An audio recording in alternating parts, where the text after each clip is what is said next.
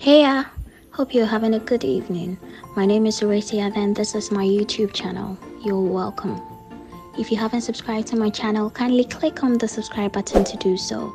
And also turn on the notification so you get an alert anytime I upload a video. On today's episode of 7 Days to Christmas giveaway, I'll be asking two questions as usual, and the first two people to get it right in the comment section will win 20 Ghana cedi worth of airtime of their choice. Let's get started. First question Why do Christians celebrate Christmas?